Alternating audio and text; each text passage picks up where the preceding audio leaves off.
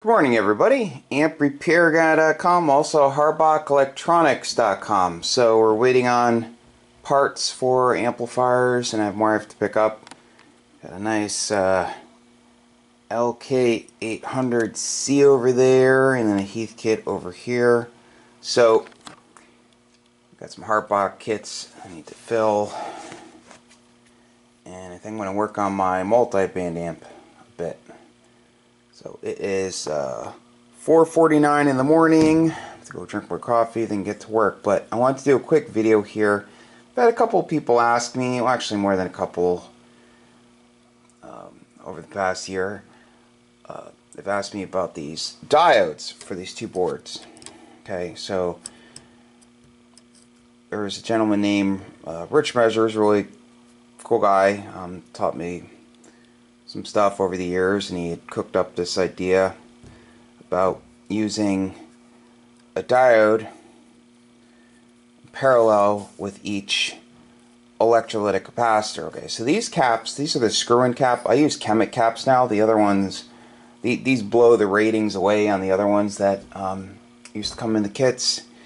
Every single rating when it comes to the ESR, the ripple current, the life, you know, the hour rating, um, so I bought over $9,000 worth actually cleaned out DigiKey and Mouser just so I'd have them and so I'd get a really good deal.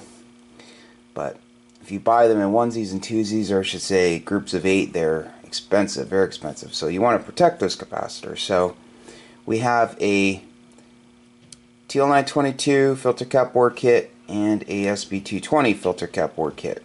Both amplifiers use a full wave doubler circuit for the rectifier. So if you were ever to lose one of the strings, if one were to short, you'd end up pumping raw AC into the caps. Okay, so the purpose of these diodes are to protect each capacitor. So if that happened, they'll short and they will protect the electrolytic cap. So these are much cheaper than capacitors. So I always recommend, and I believe Jeff, there's never been any recommendation ever to not use these. They don't take long to install. Use them. So kit comes with eight capacitors, each one eight capacitors, 800k resistors, eight diodes, three solder tabs, and um, that's it. So, oh yeah, and 16 screws. So, that's about it. So, nice high quality boards. You have to be careful. There are a lot of generic boards out there. They're not all one and the same.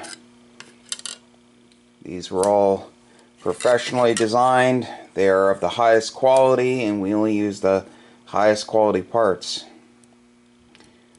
So, no spared expense. Just a lot of seen a lot of craziness with other kits where the capacitor, body of the cap, because remember there's aluminum under here, under this plastic, and it's right up against the high voltage solder point.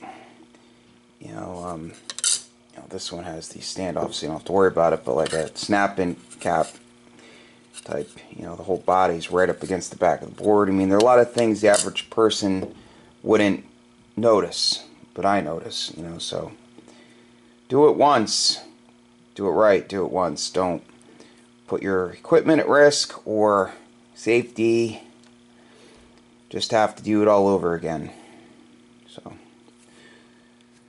okay. So I'm gonna go drink more coffee and get to work. It is Monday. I can't wait till Friday already. So, again, use the diodes. That's what they're for. So, thanks for watching. Have a great day. 73.